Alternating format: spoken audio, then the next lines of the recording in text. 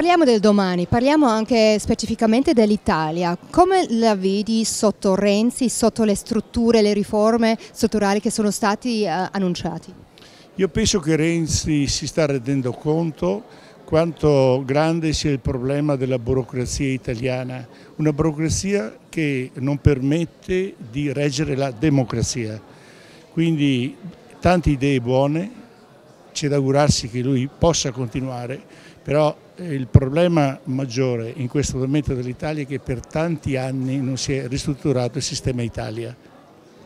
Quindi significa anche se lui vuole fare, le, vuole fare le cose giuste, non li può fare perché il sistema politico italiano fondamentalmente eh, non aiuta? Io penso che molte delle sue decisioni siano delle decisioni non politiche ma logiche, però eh, la difficoltà è di poterle attuare queste e quindi dovrà lottare con tutto il sistema, compresi i sindacati, per poter controllare la spesa pubblica e soprattutto rilanciare l'economia.